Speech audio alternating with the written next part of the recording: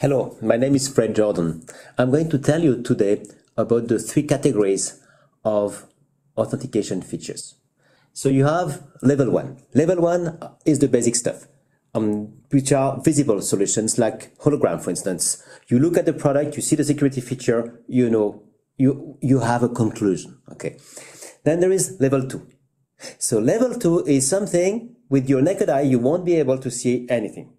Okay. It's something invisible and you need some kind of simple device to reveal the security feature. Perfect examples is UV, which stands for ultraviolet inks. You need a special lamp to see it.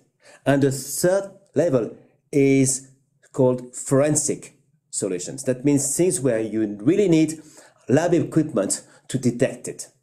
So these are the three categories and you can find more information in the description below. Thank you very much for your attention.